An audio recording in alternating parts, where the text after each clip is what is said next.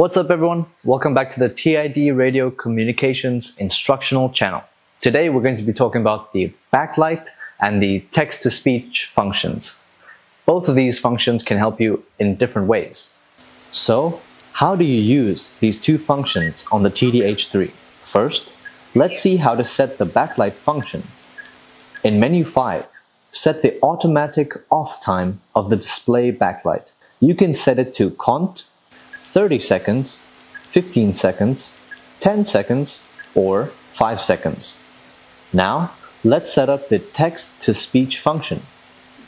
In menu 14, turn on the voice function. This way, whenever you select anything in the menu, the handset will notify you through voice.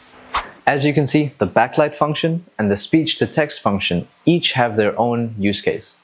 The backlight function is especially important at night or in dim environments. It can help you to see all the information you need according to your needs. The text-to-speech function provides continuous operational feedback. This allows you to always know whether your selection was successful or not.